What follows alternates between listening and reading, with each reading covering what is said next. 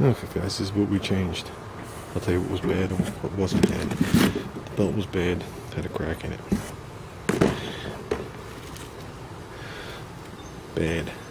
And every bolt snapped coming out of that one. Two came out of this one. Blades bad. Bolt the side of the pulleys. Good. It came with the nut, the spacer, the flat washer, the lock washer, grade 8 bolt with Loctite on it. Came with everything but these bolts. And I thought it came with them. And I wound up running to the store to buy them. So the belt fit, it was the right size. Whether it's good, bad, I don't know. All I know is when you start it up, now it doesn't growl. And there it is. And we did the headlights too.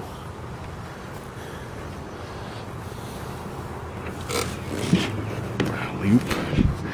Okay. Brakes on.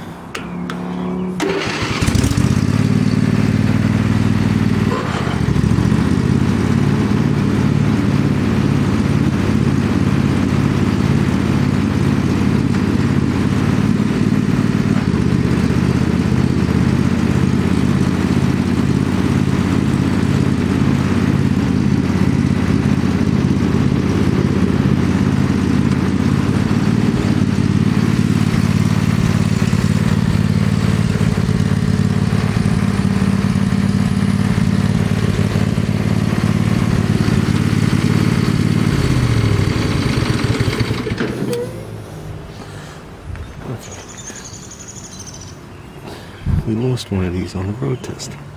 To me, that looks like a hitch ball cover, but it's not. I had all four of them on there. When I got back, I was missing out. But I cannot find it for nothing. So, it's good to go. Everything is good to go now. So, what do we do? Those headlights pop out in clips the lenses were so yellowed you couldn't see the bulbs. Okay, so I figured I'd pop out the lights and clean the lenses. Not that I'm going to mow at night. The lenses pop off the lights. Okay, so I took the light assembly out, took the lens off. There was some dirt on the chrome. I went to wipe with glass cleaner and wiped the chrome right off. So we used Rust-Oleum chrome paint. Do I have to tell you it's silver? Didn't work. So we won't be using those now. The only other thing we have to do is this twenty seemed to have a little leak. There's air in it, but it's not full. Okay, and uh, this. You can see the overspray all over this thing. This right here. It's pushed down, but that means that's nothing. This is just literally tin. Like could, oh, AC's coming on. I could lift that with my hand.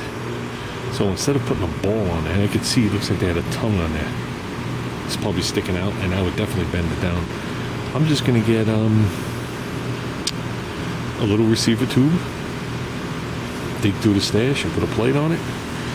So it'll be a plate on the bottom, bolt it on, plate across the back, bolt it through, and I'll probably just put big washers on the back. That'll be fine for what I'm doing. And that'll straighten this up and it'll gusset it too. If you really want to get creative, you can grab an upper bolt, any one of these, like up here, because this doesn't go to anything. And you can run a thing down. That'd really stiffen it. But we'll see. I don't want to go overkill. I gotta be able to move my trailer around. I want to pull my trailer out. I want to put the snowblower away and all sorts of stuff and be able to push it back. So that was the other purpose of getting this thing. Um, other than that, it's actually a nice machine other than the overspray all over it. So, and uh, we got a race junior. How's that? No. Tires are good in the back. So, they're gonna be good. Got new battery.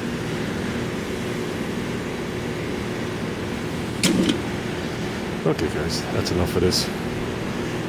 I didn't show you me doing it because as soon as I started to work and I sliced my hand open, the camera went down. And then once I had to run to the store, I was like, it's just it's just getting starting to get dark now. And I wound up doing it right outside here in Soloist. So, but everything works good. That's all that matters.